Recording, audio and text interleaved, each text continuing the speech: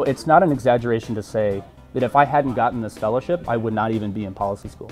It has definitely allowed me to come to UT. I wouldn't have been able otherwise. It's enabled me to pursue this graduate degree and also, while I'm here, intensively focus just on my studies. It supports my work on economic inequality and my collaboration with uh, a group of first-rate uh, students. Your support makes it possible for us to do what we do. Without this support, we couldn't do the new research and the exciting teaching that we do every day.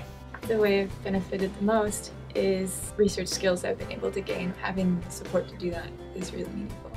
It's enabled me to enhance my professional background. Uh, it has allowed me the opportunity to work more closely with students, to share some 30 years of experience working at the local government level. Without this kind of uh, support, I question whether we would have as much opportunity. Being in the LBJ school has uh, opened up sort of new avenues of study for me, new ideas, exposed me to a really important alumni network, which I've already made use of in looking for jobs and internships in uh, DC. Yeah, I'm very thankful for Ben Barnes in uh, funding my uh, studies here at the LBJ School. A big thank you to all the donors who contributed so that we at the LBJ School can continue to work with young people who are interested in public service. To the donors who supported the UT Capital Campaign, thank you one and all. Your gifts, your support are essential to what we do, and your generosity has made a real difference.